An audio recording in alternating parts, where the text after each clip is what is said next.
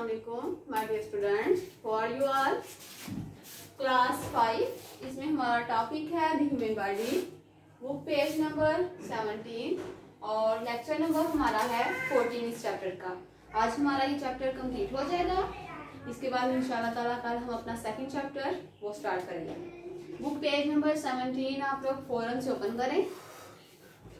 इसमें आज हमने question number seven eight and nine जो लास्ट थ्री क्वेश्चन है हमारे वो करेंगे। क्वेश्चन नंबर सेवन है name the two types of joints and give an example of each के जो टू टाइप्स हैं जॉइंट्स की, आप वो बताएँ कौन सी हैं और इनमें से हर एक की एग्जांपल भी दें। The two types of joints are जो जॉइंट्स की टू टाइप्स हैं, वो कौन कौन सी एक हाइंड जॉइंट है और दूसरे बॉल एंड सॉकेट जॉइंट है। ये दोनों तरह के जॉइंट जो है वो हमारी बॉडी के अंदर प्रेजेंट है। इसमें एग्ज़ाम्पल जो है, ये नी एंड एल्बो जो है, वो हमारे एग्ज़ाम्पल की जैसे ये हमारे नीज और ये नीज और यहाँ से एल्बो वगैरह ले रहे ये किसकी एग्ज़ाम्पल है ये?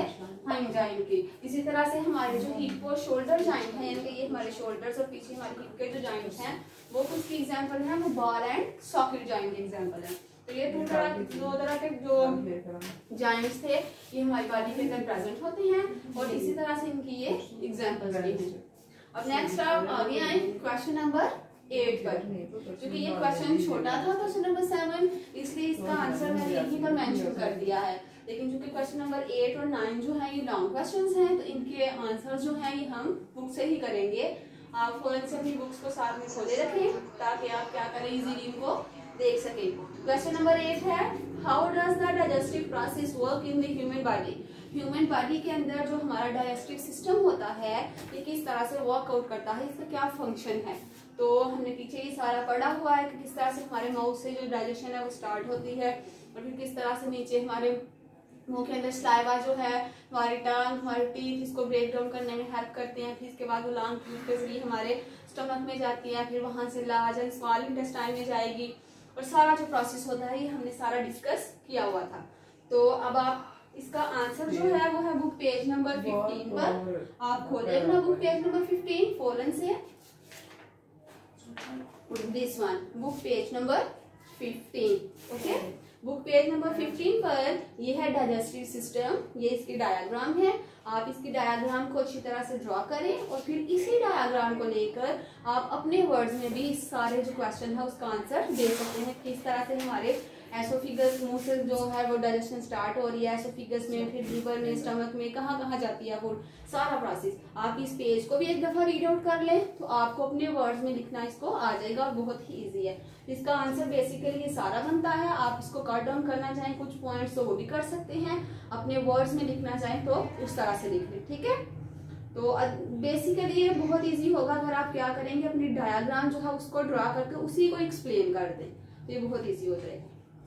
अब नेक्स्ट क्वेश्चन पर आए। क्वेश्चन नंबर जो नाइन्थ है हमारा what makes up the urinary system कि हमारा जो यूरिनरी सिस्टम है तो किस तरह से बनता है कौन कौन से पार्ट्स होते हैं इसके, जो बनाते हैं इसको? How does this system work ये वर्क कैसे करता है? What part does it play in the normal functioning of functioning of the human body और जो नॉर्मल फंक्शनिंग होती है ह्यूमन बॉडी की, कि इसको नॉर्मल रखने में किस तरह से नॉर्मल काम करती है ह्यूमन बॉडी उसमें क्या रोल प्ले करता है? तो इसका आंसर है बुक पेज नंबर 16 से, और ये बहुत ज़्यादा इम्पोर्टेंट है हमारे लिए, ये फ़ंक्शन जो है इसका यूरिनरी सिस्टम का। तो ये छोटा ही है। आप पेज नंबर 16 से ये जो इसकी डायग्राम नज़र आ रही है, आप इसी तरह से इसकी डायग्राम को करें और इसको अच्छी तरह से एक दफ़ा रीड आउट करें तो आपको दोबारा इसको एक्सप्लेन करना अपने वर्ड्स में इजीली आ जाएगा। ठीक है? तो आप इसको एक दफ़ा पढ़ लें और एक दफ़ा पढ़ के अगर कुछ पॉइंट्स कट आउट करना चाहते हैं, आप वो भी कर सकते हैं। अदरवाइज़ आप इसको सारे का करना चाहें तो वो भी कर सकते हैं। तो बहुत ईजी है। अब आज हमारा ये चैप्टर कंप्लीट हो चुका है। चैप्टर नंबर जो फ़र्स्ट है, अब कल हम चैप्टर नंबर टू करेंगे। आप घर में क्वेश्चन को अच्छी तरह से लर्न करें। Thank you